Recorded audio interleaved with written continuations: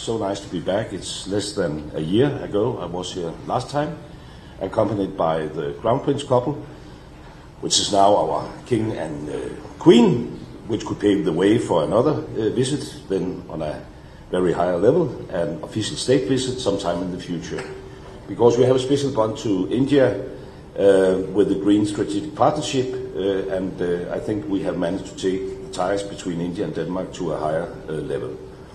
Uh, and today is also uh, an important day in that regard, uh, and I'm looking forward to witness all the deals which will be signed and exchanged here today. And it proves that the Green Strategic Partnership are focusing on the right areas of cooperation, energy, water, financing, technology, and, and more. Um, and I think there will definitely be more to come.